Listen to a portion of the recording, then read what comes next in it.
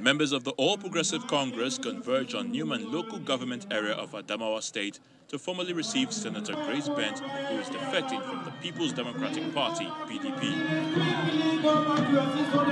The top echelon of the party are here, including the chairman of the Caretaker Committee, represented by Senator Ken Nnamani, governors of Jigawa, Kebbi, Plateau, and the Deputy Governor of Kogi State, among others. There's a moving train called APC and it stops at almost every station. So you have opportunity of joining the train.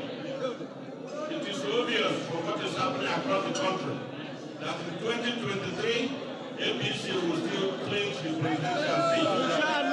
Jigawa State Governor Badaru Abubakar, on behalf of the APC governors, welcomes the senator to the party and encourages her and other new members to work for the country's common good.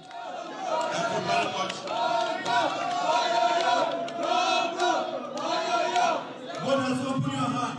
God has opened your mind. God has opened your spirit and touched you and allow you to see the progress President Muhammad Buhari is doing.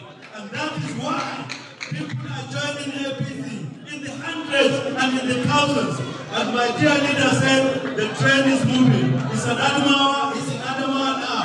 So all assembly, join that train. With a very glad heart, I announce to you today that after taking stock of my political escapades in PDP, I have looked inwards and I am convinced more than anything, I am moving into the All Progressive Congress.